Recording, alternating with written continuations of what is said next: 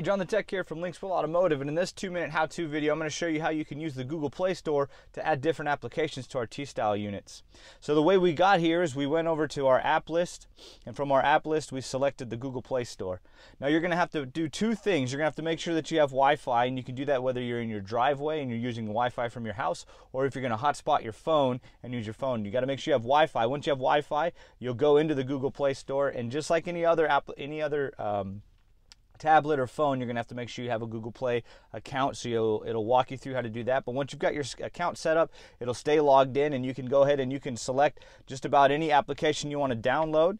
Uh, you'll select it. You'll tell it you want to install it, just like everything else, except the uh, the rules and regulations to use the application and it'll go ahead and download it. And then once every application that you've downloaded will show up on your app list. And so depending on which uh, menu bar you have going on here, you would just slide it across, find where it says app list, select app list, and then all of your applications that you've downloaded will be right there. So you've noticed we've got we've downloaded Google Maps already. We've also downloaded YouTube, uh, so we can open up YouTube, use YouTube. Again, YouTube is going to require internet. So if you're out and about and you're not near the home, you're going to have to use the hotspot on your phone using hotspot can use your data will use your data uh, so just make sure that your cell phone plan allows you uh, to use your hotspot and whatnot with your data.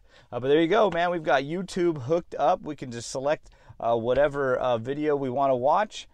It'll pop up start playing for us and and that's what you got going on. And, and you can use different applications. You can uh, get your spotify on if you're a spotify guy. You can uh, do your pandora if pandora is your uh, your spice. And uh, all the applications will function right here on the screen uh, just requiring uh, you to make sure that you tether your phone